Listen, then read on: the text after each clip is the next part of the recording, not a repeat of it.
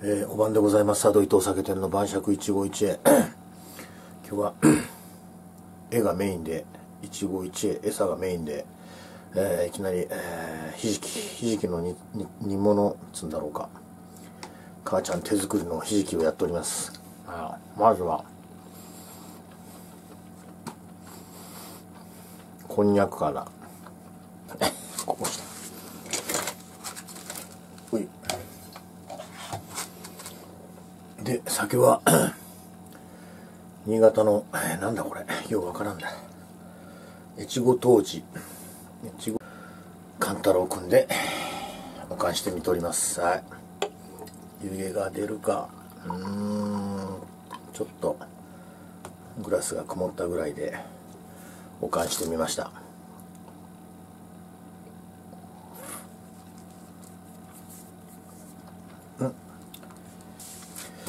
で今日のメインは母ちゃん手作りのひじきです。この醤油と砂糖とうんこの加減がさ加減が何とも言えません。はい。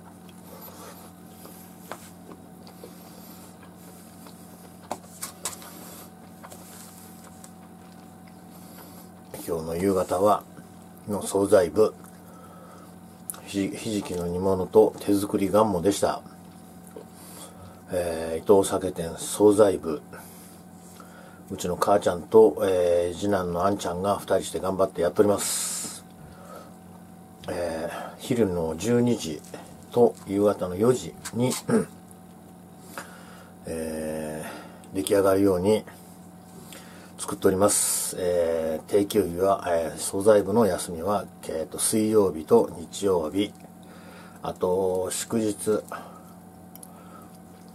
なんかも休ましてもろとおります。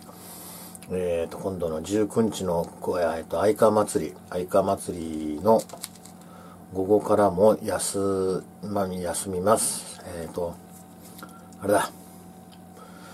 メニューには、えー、午後ちょっと入れてしもたんだけども、ちょっと、やっぱり祭りの時はちょっと休まんだなということで、えー、19日の午後からは休ませてもらいます。惣菜部、休ませてもらいます。えー、まあこれは近所の門にしか当たらんかもしれんけど、そういう感じで、えー、やっております。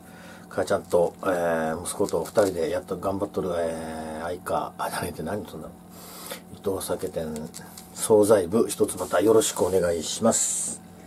今日はサーミーモンで頭にちょっとタオル巻きつけておりますが、はい、以上、佐渡伊藤酒店晩酌151へでした。